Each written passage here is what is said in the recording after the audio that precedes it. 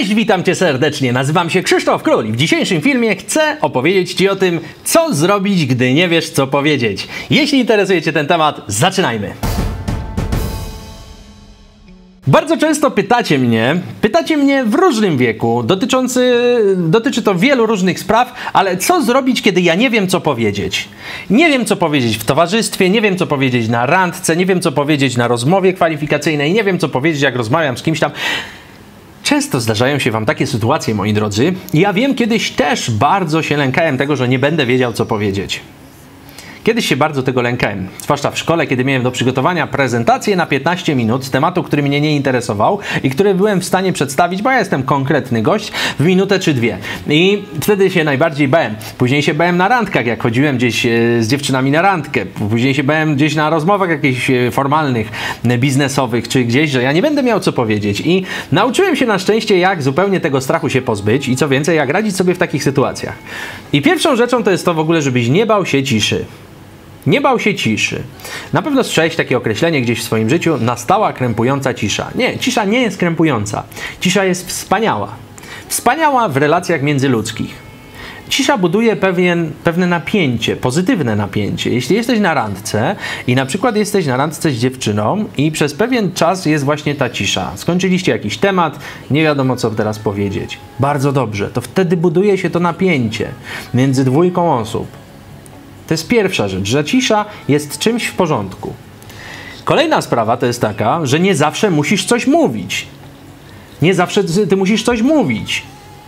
Nie zawsze musisz być duszą towarzystwa. Często ludzie mnie też zadajecie pytania na webinarach czy gdzieś e, właśnie pod filmami i zadajecie pytania, co ja mam powiedzieć w towarzystwie, żebym był lubiany i tak dalej. Nic. Nic.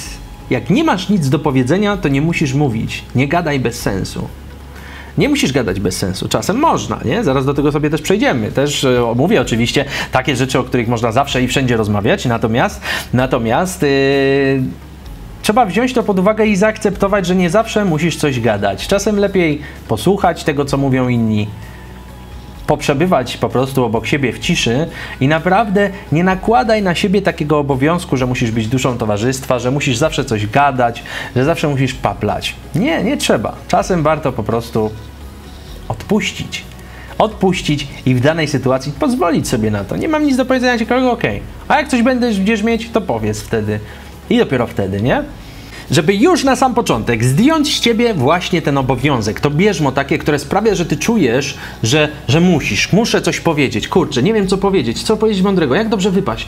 Nie musisz. Dobrze wypadasz w momencie, kiedy jesteś szczery, kiedy jesteś e, dumny z tego, co robisz, kiedy y, jesteś dumny z tego, co osiągnąłeś w swoim życiu, kiedy dobrze traktujesz innych ludzi, kiedy pokazujesz swoją wartość, wtedy dobrze wypadasz, a nie wtedy, kiedy po prostu paplasz, nie?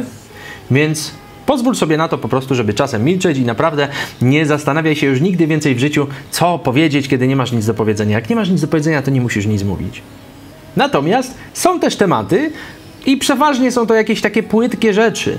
Płytkie rzeczy po prostu. E, na które, o których zawsze i wszędzie można rozmawiać z ludźmi, które po prostu są takim tematem, żeby zwłaszcza nawiązać rozmowę. Oczywiście też chcę tutaj jeszcze zwrócić na jedną rzecz uwagę, a jest to to, że jeśli jesteś na randce, jeśli faktycznie ty jesteś z jakąś drugą osobą, nie? I nie macie nic do powiedzenia. Ta cisza się staje naprawdę po pewnym czasie już krępująca nie dlatego, że buduje napięcie, tylko przez to, że jest jej zbyt dużo i tak naprawdę nie masz nic do powiedzenia tej osobie, nie chcesz nic o niej yy, się dowiedzieć, ona też nie ma ci nic za bardzo do powiedzenia. To zastanów się, czy ty faktycznie chcesz kontynuować znajomość z takim człowiekiem. Jeśli nic nie macie sobie do powiedzenia, jeśli nie interesuje cię nic, jeśli nie macie o czym gadać już na pierwszym spotkaniu czy drugim, to po co w ogóle się spotykać? Po co w ogóle spędzać razem czas? Po prostu się nie kleicie, nie? Jesteście z różnych światów na tyle, że nie macie sobie nic do powiedzenia. I warto to wtedy też zaakceptować i po prostu podziękować za rozmowę i iść do domu i następnym razem mówić się z kimś innym. Więc o tym też warto pamiętać. Natomiast jakie są tematy? No, zawsze można o kimś porozmawiać, oczywiście nie w rozmowach gdzieś tam biznesowych, bardziej w rozmowach towarzyskich, y, o rodzinie na przykład, o rodzinie, albo opowiedzieć coś o swojej rodzinie, albo zapytać kogoś o jego rodzinę.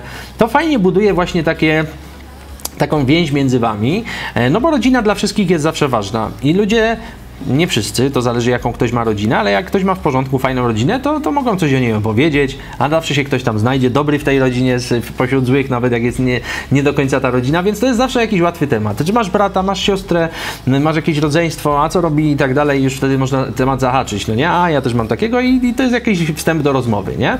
E można założenia pewne jakieś położyć. Czyli, o, wyglądasz mi na taką osobę, która lubi coś, coś takiego i coś takiego. Wydaje mi się, że lubisz to. Ciekawe, czy lubisz e, taką muzykę na przykład, nie? E, więc e, można w ten sposób ten temat zahaczyć. Można opowiedzieć o tym przede wszystkim, czym się zajmujesz, nie? Czym się zajmujesz? Ludzie bardzo często wstydzą się tego. Na przykład ktoś jest listonoszem listonoszem i, e, i on się wstydzi tego. Natomiast no, w dzisiejszych czasach już, już coraz mniej ta, to pojęcie, więc większość ludzi dostaje mailem różne rzeczy i tak dalej, nie? Ale mógłby taki listonosz opowiedzieć i znaleźć przede wszystkim sens. W ogóle warto znaleźć sens w swojej pracy. Nawet jeśli twoja praca jest jakaś, no nie wiem, prosta dosyć, nie? Jesteś, pracujesz na, na magazynie gdzieś tam w jakimś supermarkecie i opowiedzieć o tym faktycznie, co ty robisz że dbasz o to, żeby ludzie mieli świeże produkty zawsze, że dbasz o to, żeby ludzie mieli możliwość na przykład dostania tego jedzenia, coś, kiedy, coś czego nie było jeszcze parędziesiąt lat temu w Polsce, 30-40 lat temu ludzie nie mieli nic w ogóle, a, a ja teraz pracuję na przykład przy takich rzeczach właśnie, żeby zapewnić ludziom odpowiednie towary, jedzenie, dobre rzeczy, żeby mogli mieć fajny poziom życia. Magazynier może w ten sposób się przedstawić, nie? I sięgnąć dużo głębiej do sensu w ogóle swojej pracy, bo przecież taki jest jego sens. Nie tylko przewrzucanie pudełek z miejsca na miejsce, ale przede wszystkim dbanie o to właśnie, żeby ludzie mogli suma summarum później te produkty kupić i one były odpowiednio wystawione, nie? Więc nawet jeśli kogoś pytasz, zadajesz w ogóle jakieś pytania, bo warto być zainteresowanym tą drugą osobą. No mówię, po to z kimś rozmawiasz, bo jesteś zainteresowany tą drugą osobą. Idziesz na rozmowę o pracę, zapytaj tych ludzi o firmę, jak ta firma funkcjonuje i tak dalej. Możesz zapytać o 100 różnych rzeczy i oni to wręcz docenią, bo zobaczą, że ty się też interesujesz tą firmą, chcesz coś wiedzieć, a nie tylko przychodzisz tam, dobra, dajcie mi tu pensję i nara, nie?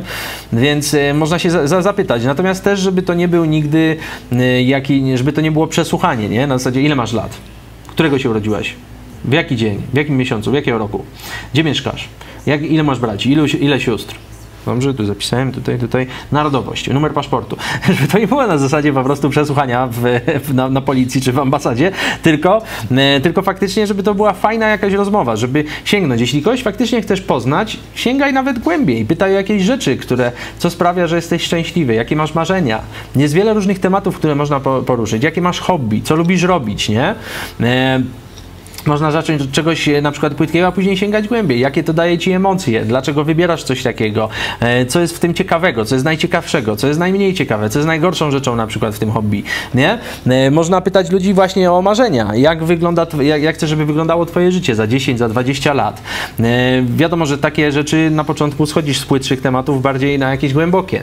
Można zacząć, już jak już nie masz totalnie o czym, na przykład jak zacząć rozmowy zahaczyć, to byle co, co jest naokoło ciebie, ale ładne zasłony, nie wiesz, gdzie takie można kupić? O, fajna doniczka, nie wiesz, gdzie taką można kupić? Podstawa, jak dojść na dworzec, która jest godzina I, i różne inne jakieś proste tematy. Natomiast mówię, najważniejszym jest to po prostu, żeby nawiązywać kontakt i pamiętać o tym, że kontakt nawet to nie są same słowa. To jest to, w jaki sposób ty czujesz się z tą drugą osobą, jakie macie emocje, kiedy przebywacie razem.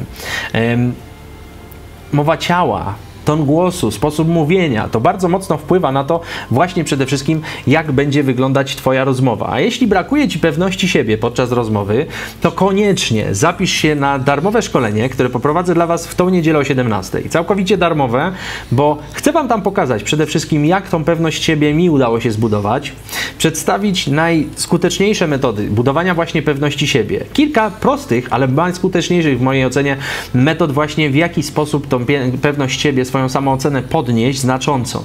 Więc jeśli chcesz wziąć udział w tym szkoleniu pod tym filmem, w przypiętym komentarzu czy w opisie znajdziesz linka właśnie do zapisu. Zrób to teraz, od razu się zapisz, nie odkładaj tego na później, nie pielęgnuj w sobie złego nawyku odkładania na później. Od razu się zapisz, już będziesz mieć zajęte miejsce. W niedzielę wystarczy się około 16 godzinkę przed szkoleniem zająć sobie miejsce wtedy w pokoju, za, zalogować się i czekać, a o 17 punktualnie startuje dla Was ze szkoleniem.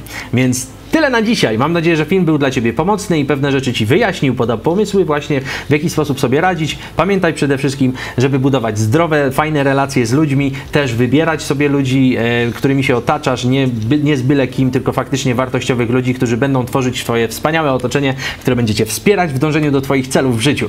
Więc widzimy się w niedzielę na tym szkoleniu. A ja się z Tobą żegnam. Trzymaj się, miej dzisiaj wspaniały dzień. Cześć!